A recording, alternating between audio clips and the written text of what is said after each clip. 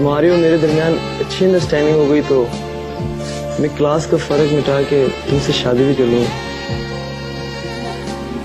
मुझे यकीन नहीं आ रहा। Why you don't believe you deserve it यार। जहांजेब खान 11 जून 1985 को सुबह सिंध के शहर हैदराबाद के एक पश्तून खानदान में पैदा हुए। जहांजेब ने कंप्यूटर प्रोग्रामिंग की तालीम सिंध यूनिवर्सिटी से हासिल की। जहांजेब चूँकि खूबरू और हसीन नौजवान थे तो उन्हें दोस्तों यारों की जानब से मॉडलिंग का मशवरा दिया गया, जिस पर उन्होंने कैरियर का आगाज़ बतौर मॉडल किया। जहांजेब को परफॉर्मिंग आर्ट से लगाव इस हद तक था कि उन्होंने बाकायदा तौर पर डांस की तरबियत हासिल की और मारूफ theatre group Sheema Kirmani join कर लिया, जिसके साथ उन्होंने न सिर्फ़ पाकिस्तान, बल्कि हिंदुस्तान के सात शहरों में भी परफॉर्म किया, जिसके बायस ये पाकिस्तानी डायरेक्टर्स और प्रोड्यूसर्स की नज़रों में आ गए और थोड़े ही अरसे में उन्हें टीवी और फ़िल्म के बड़े प्रोजेक्ट्स मिलना शुरू हो गए। जहाजेब खान के कैरियर का आगाज़ 2011 के पाकिस्तानी सोप महमूदाबाद की मलिकाएँ से हुआ, जिसमें वो जैन के रूप में स्पोर्टिंग रोल करते दिखाई दिए। ड्रामा में दिखाया गया कि कैसे एक घर में मौजूद चार बेटियाँ उस वक्त अपने ही बाप के खिलाफ खड़ी हो जाती हैं और बगावत पर उतर आती हैं, जब उनका बाप उन्हें इस्लामी इकदार से इनहराफ करने पर हर वक्त डांटता रहता है। ड्रामे की कास्ट में सुबूर अली, सज्जल अली और नवीद रजा शामिल थे। अबे साले प्यार करता हूँ, तू इंक्वायरी करवा रहा मैं सोच रही हूँ कितना पसंदी लड़का है। दो दिन घूसे मार के सब सच बता दिया। अबे सालों मेरी मर्दान की डैमेज करवा दी।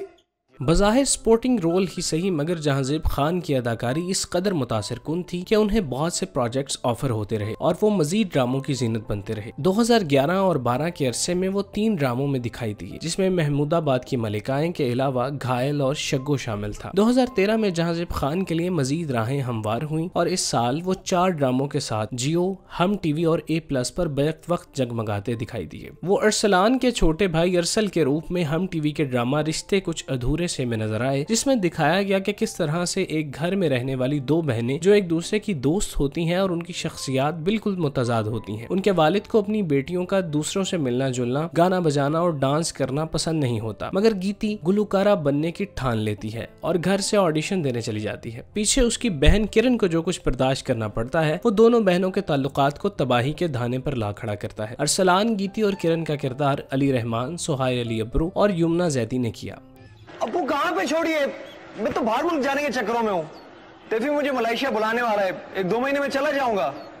अरे भाई, और नहीं तोड़े इसमें श्रद्धा कपूर की आशिकी टू और एक विलन के कोम्बो गाने। जहाजेब खान के लिए किस्मत नरम गोशा रखे हुए थी और वो अपने सफ़र को आहिस्ता आहिस्ता, मगर मुसलसल जारी रखे हुए थे, जिसका अंदाज़ा इस बात से लगाया जा सकता है कि वो 2014 में महज दो ड्रामों कुदरत और पाकिजा कोचिंग सेंटर में दिखाई दिए। 2015 जहाजेब खान के लिए बेहतरीन साल साबित हुआ, जिसमें न सिर्फ़ उनके पाँच ड्रामे ऑन एयर हुए, बल्कि वो लीड रोल भी करते दिखाई दिए। जहाजेब खान के लिए ये बात किसी एजाज से कम न थी कि वो पीटीवी से नशर होने वाले कॉमेडी ड्रामा गूगली ड्रामे में जाहिद अफरीदी के लीड रोल में नज़र आए। ये ड्रामा 2015 में होने वाले वर्ल्ड कप पर मबनी कॉमेडी सीरीज़ थी। जाहिद वो किरदार है जो कंपाउंड में नया नया शिफ्ट होता है और अच्छा ऑलराउंडर होने की वजह से उसे कंपाउंड की टीम में शामिल करके लंबू को निकाल दिया जाता है जो अपनी बेइज्जती का बदला लेने के लिए हरीफ टीम का हिस्सा बन जाता है जहाजेब के मुकाबल एमन खान मुनीब भट्ट और हिना दिलपजीर शामिल थी। कस्बा कॉलोनी का अटैक बॉलर था ओपनिंग भी हम करता था।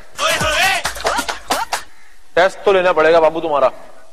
तो लो ना हमको कौन सा डर है? मियाँ बीवी जब एक दूसरे से अलहदगी इख्तियार कर जाएँ तो उसका खमियाजा उनकी औलाद को सारी ज़िंदगी भुगतना पड़ता है। इस मसले पर रोशनी डालने के लिए जहांजेब खान इमरान के रूप में हम टीवी के ड्रामा एक थी मिशाल में जलवागर हुए। इस ड्रामे में दिखाया गया कि किस तरह मिशाल को उस वक्त तकलीफ़ और अजियत का सामना करना पड़ता है, जब उसके वालदेन तनाजात की जद में आकर अपनी राहें जुदा कर लेते हैं। और फिर मिशाल को पंद्रह दिन माँ और पंद्रह दिन बाप के यहाँ रहना पड़ता है। और फिर वो दोनों अपनी अपनी ज़िंदगी में आगे बढ़ जाते हैं और मिशाल को पीछे बेआसरा छोड़ देते हैं। मिशाल का किरदार हिना अल्ताफ ने अदा किया। उनके साथ रुबाब हाशमी और इमाद इरफानी शामिल थे। हमारा मुरजान ने खास तुम्हारे वास्ते दिया है। जी, कहता है, घर आ जाओ। हाँ जी, राज़ी हो गए कहता स्वीटी को लेके घर आ जाओ। 2016 तक जहांजेब खान एक मुतवाजन और बेहतर अदाकारों में शामिल हो चुके थे और स्पोर्टिंग रोल्स के लिए डायरेक्टर्स की ज़रूरत बन चुके थे, जिसके बायस वो न सिर्फ़ बड़े बड़े चैनल्स पर दिखाई दिए, बल्कि उन्हें शोबिस के बड़े बड़े नामों के साथ काम करने का मौका मिला, जिसने उनकी काबिलियत को मजीद निखारने में अहम किरदार अदा किया। इस साल जहांजेब खान अपने चाहने वालों के लिए नौ ड्रामे लेकर आए, जो मज़बूत कहानी और तजर्बाकार अदाकारों की वजह से मकबूल हुए। और इन ड्रामों की वजह से जहांजेब खान की मकबूलियत के ग्राफ में भी बेपना इजाफा हुआ पता नहीं कब रिस्पॉन्स मिलेगा। मेरे पेरेंट्स जॉब की उम्मीद बांधे बैठे। मैं बजाय उनको कमा कर देने के उल्टा उनसे खा रहा हूँ।